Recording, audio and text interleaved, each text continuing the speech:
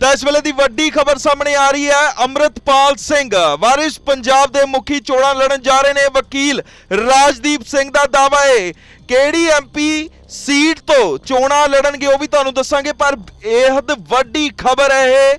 ਵਾਰਿਸ ਪੰਜਾਬ ਦੇ ਮੁਖੀ ਅੰਮ੍ਰਿਤਪਾਲ ਸਿੰਘ ਲੋਕ ਸਭਾ ਚੋਣਾਂ ਲੜਨ ਜਾ ਰਹੇ ਨੇ। ਡਿਬਰੂਗੜ੍ਹ ਜੇਲ੍ਹ ਦੇ ਵਿੱਚ ਬੰਦ ਨੇ ਅੰਮ੍ਰਿਤਪਾਲ ਸਿੰਘ। ਤੁਹਾਨੂੰ ਦੱਸ ਦਈਏ ਕਿ ਡਿਬਰੂਗੜ੍ਹ ਜੇਲ੍ਹ ਜਾ ਕੇ ਉਹਨਾਂ ਦੇ ਵਕੀਲ ਰਾਜਦੀਪ ਸਿੰਘ ਮੁਲਾਕਾਤ ਕਰਕੇ ਆਏ ਨੇ।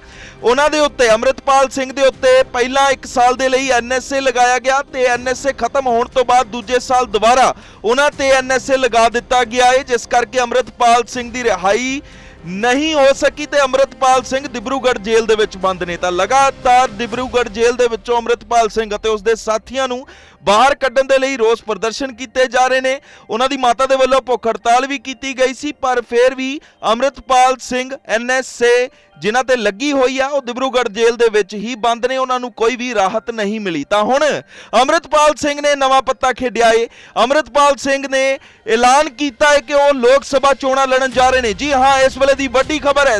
ਉਮੀਦਵਾਰ ਤੁਹਾਨੂੰ ਦੱਸ ਦਈਏ ਕਿ ਆਜ਼ਾਦ ਲੜਨਗੇ, ਆਜ਼ਾਦ ਉਮੀਦਵਾਰ ਹੋਣਗੇ ਅੰਮ੍ਰਿਤਪਾਲ ਸਿੰਘ, ਆਜ਼ਾਦ ਲੜਨਗੇ ਖਡੂਰ ਸਾਹਿਬ ਦੀ ਸੀਟ ਤੋਂ, ਜਿੱਥੋਂ ਦੇ ਐਮਪੀ ਨੇ ਇਸ ਵੇਲੇ ਮੌਕੇ ਤੇ ਜਸਬੀਰ ਸਿੰਘ ਗਿੱਲ ਡਿੰਪਾ, ਜਿਨ੍ਹਾਂ ਨੂੰ ਕਹਿੰਦੇ ਆ, ਤੇ ਤੁਹਾਨੂੰ ਦੱਸ ਦਈਏ ਕਿ ਨੈਸ਼ਨਲ ਕਾਂਗਰਸ ਦੇ ਜਸਬੀਰ ਸਿੰਘ ਗਿੱਲ ਡਿੰਪਾ ਜਿਹੜੇ ਨੇ, ਉਹ ਮੌਕੇ ਦੇ ਐਮਪੀ ਨੇ, ਤੇ ਉਹਨਾਂ ਨੂੰ ਟੱਕਰ ਦੇਣਗੇ ਹੁਣ ਅੰਮ੍ਰਿਤਪਾਲ ਸਿੰਘ। ਤਾਂ ਦੱਸ ਦਈਏ ਕਿ ਅੰਮ੍ਰਿਤਪਾਲ ਸਿੰਘ ਨੇ ਹਾਮੀ ਭਰੀ ਹੈ ਜਿਸ ਤੋਂ ਬਾਅਦ ਉਹਨਾਂ ਦੇ ਵਕੀਲ ਨੇ ਪੱਤਰਕਾਰਾਂ ਨਾਲ ਗੱਲ ਕੀਤੀ ਤੇ ਇਹ ਇਨਫੋਰਮੇਸ਼ਨ ਸਾਂਝੀ ਕੀਤੀ ਹੈ। ਤਾਂ ਖਡੂਰ ਸਾਹਿਬ ਸੀਟ ਹੈ।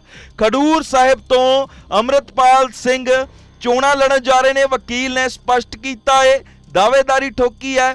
ਆਜ਼ਾਦ ਉਮੀਦਵਾਰ ਹੋਣਗੇ ਅੰਮ੍ਰਿਤਪਾਲ ਸਿੰਘ, ਕਿਸੇ ਵੀ ਪਾਰਟੀ ਦੇ ਨਾਲ ਨਹੀਂ ਲੜਨਗੇ।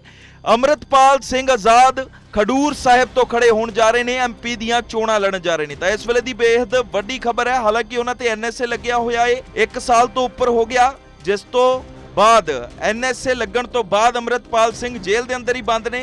ਅੱਜ ਤੋਂ ਕਰੀਬ 14 ਮਹੀਨੇ ਪਹਿਲਾਂ ਅੰਮ੍ਰਿਤਪਾਲ ਸਿੰਘ ਜੋ ਕਿ ਅਜਨਾਲਾ ਵਿਖੇ ਉਹਨਾਂ ਨੇ ਬੈਰੀਗੇਡ ਤੋੜੇ ਸੀ ਗੁਰੂ ਸਾਹਿਬ ਦੀ ਹਾਜ਼ਰੀ ਦੇ ਵਿੱਚ, ਜਿਸ ਤੋਂ ਬਾਅਦ ਅੰਮ੍ਰਿਤਪਾਲ ਸਿੰਘ 2 ਤੋਂ 3 ਦਿਨ ਭਗੌੜੇ ਵੀ ਰਹੇ ਤੇ ਫਿਰ ਅੰਮ੍ਰਿਤਪਾਲ ਸਿੰਘ ਨੂੰ ਪੁਲਿਸ ਨੇ ਪਿੰਡਰਾ ਵਾਲੇ ਦੇ ਪਿੰਡ ਤੋਂ ਗ੍ਰਿਫਤਾਰ ਕੀਤਾ। ਅੰਮ੍ਰਿਤਪਾਲ ਸਿੰਘ ਨੇ ਉੱਥੇ ਸਰੈਂਡਰ ਕੀਤਾ ਸੀ, ਜਿਸ ਤੋਂ ਬਾਅਦ ਲਗਾਤਾਰ ਆਪਣੇ ਸਾਥੀਆਂ ਦੇ ਨਾਲ ਡਿਬਰੂਗੜ੍ਹ ਜੇਲ੍ਹ ਦੇ ਵਿੱਚ, ਅਸਾਮ ਦੇ ਵਿੱਚ ਬੰਦ ਨੇ ਅੰਮ੍ਰਿਤਪਾਲ ਸਿੰਘ ਤੇ ਹੁਣ ਅੰਮ੍ਰਿਤਪਾਲ ਸਿੰਘ ਦੇ ਵੱਲੋਂ ਇਹ ਵੱਡਾ ਐਲਾਨ ਕੀਤਾ ਗਿਆ ਹੈ ਦਾਵਾ ਠੋਕਿਆ ਗਿਆ ਹੈ ਉਹਨਾਂ ਦੇ ਵਕੀਲ ਦੇ ਵੱਲੋਂ ਕਿ ਅੰਮ੍ਰਿਤਪਾਲ ਸਿੰਘ ਖਡੂਰ ਸਾਹਿਬ ਤੋਂ ਐਮਪੀ ਦੀਆਂ ਚੋਣਾਂ ਲੜਨ ਜਾ ਰਹੇ ਨੇ ਤਾਂ ਇਸ ਵੇਲੇ ਦੀ ਵੱਡੀ ਖਬਰ ਹੈ ਵਾਰਿਸ ਪੰਜਾਬ ਦਾ ਮੁਖੀ ਹੈ ਅੰਮ੍ਰਿਤਪਾਲ ਸਿੰਘ।